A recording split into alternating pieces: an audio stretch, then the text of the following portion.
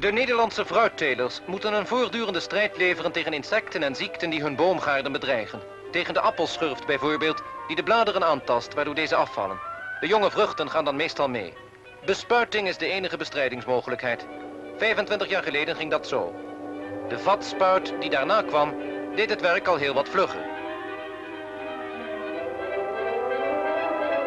In de dertiger jaren werd de man aan de pomp vervangen door een motor.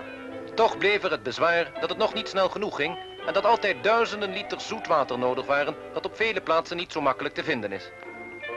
Er is nu echter een nieuwe machine gekomen, door Nederlanders ontworpen en gebouwd, die de bespuiting bijzonder snel en met doeltreffend resultaat verricht en die veel minder water nodig heeft. Het principe ervan berust op een zogenaamde verstuiverkop, waaruit met enorme snelheid lucht wordt geblazen. De luchtstroom zuigt de chemicaliën mee naar buiten en er treedt een uiterst fijne verneveling van de giftige vloeistof op.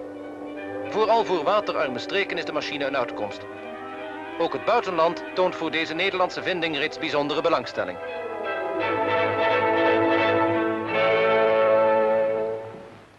Op de Scheveningse